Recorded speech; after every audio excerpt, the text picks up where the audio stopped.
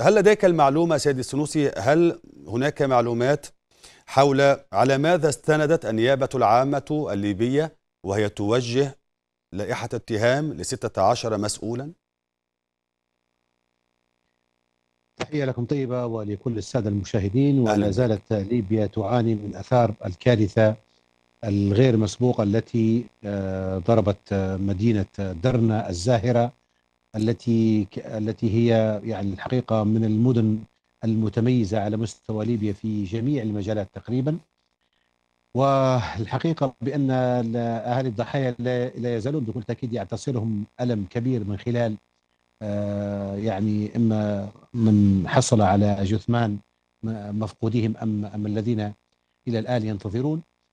ولكن آه، الحقيقة بأن هذه العمق هذا الحزن وهذه الأزمة يعني بكل تأكيد آه، يجلب معه أسئلة كثيرة ومن ضمنها طبعا من المسؤول عن الذي حصل. طبعا كلنا نعلم بأن العاصفة والفيضانات هي قدر من الله لا شك في ذلك. ولكن آه، كيف آه، ما هو دور الحكومات؟ أليس دورها في أن تتولى حماية الناس وتقليل الخسائر في حالة حصول آه، كوارث طبيعية من هذا النوع؟ وهذه الأسئلة الحقيقة ترتكز اسمح لي بالمقاطعة هنا سيد السنوسي جملة, جملة واحدة يعني. بالفعل إن الهدف من تكوين الحكومات هي أن تراعي مصلحة المواطنين أو ناخبيها يعني. حين تكون هذه الحكومة تعلي أينما كانت تعلي مصلحة الناخب على مصلحتها. حين تكون هذه الحكومة تعلي مصلحة الوطن. حين تكون هذه الحكومة حكومة واحدة لا حكومتين في بلد واحد. صحيح؟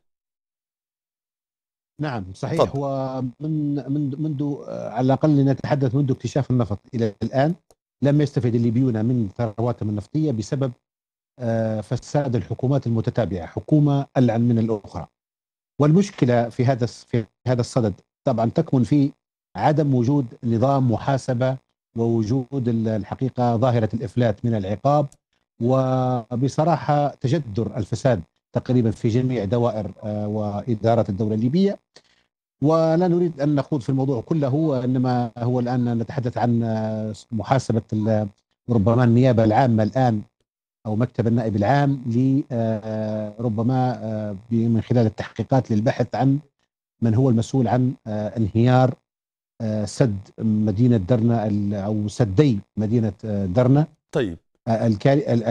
الكارثي وهذا طبعا يعني يعني يجرنا إلى الوضع العام في البلاد والجميع يعلم الظروف الحاصلة.